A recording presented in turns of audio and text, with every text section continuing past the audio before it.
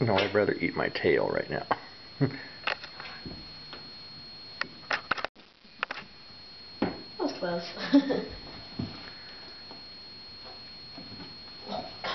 I got it. I got it.